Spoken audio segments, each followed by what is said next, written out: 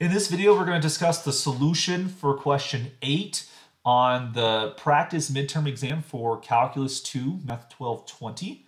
Um, we are asked to set up the integral of the region bounded by y equals x squared and y equals x plus 2. so we're looking for the area between the two curves. And one thing to notice here is that we're just trying to set up the integral. We're not actually going to evaluate it whatsoever.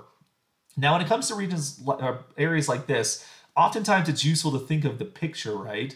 Um, so if we think of like our x and our y axis right here, um, let's graph these things. I'll do the parabola in blue. y equals x squared. This is just a standard parabola. We get something like the following. All right, and then we have the line y equals x plus 2. That's a line that would have an y-intercept of 2. Its slope is 1. So it's going to do something like this, right? Uh, that's in green there. And so we can see that the region that we're trying to describe appears to be this region right here. Um, of interest to us is going to be these intersection points, which we see here and here. So let's look for those real quick. So if we set x squared equal to x plus 2, um, this is a quadratic equation. I'll set it equal to 0.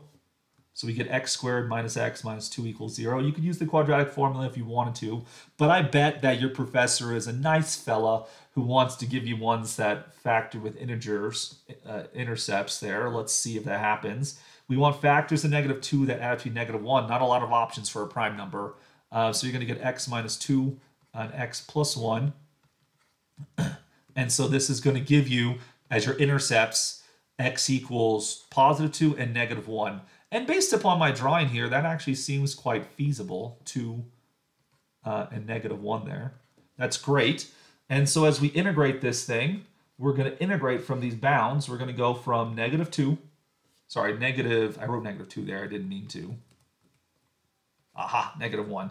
Uh, we're going to integrate from negative 1 to 2. We're going to take the larger function, which is x plus 2, minus the smaller function, which in this case is x squared, dx.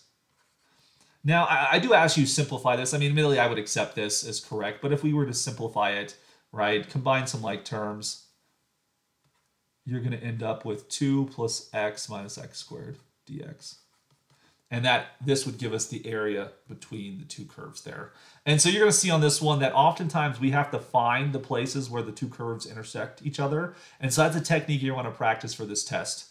Um, one some comments I want to make here is that when it comes to these definite integrals, things that I do need to see is you do need to have the correct function. That's something I'm going to scrutinize. You need to have the correct bounds. It needs to start and stop at the right place. And also you need to have your differential. That dx is part of the integral. Without it, you wouldn't get full credit on this question. So make sure to put your differential there.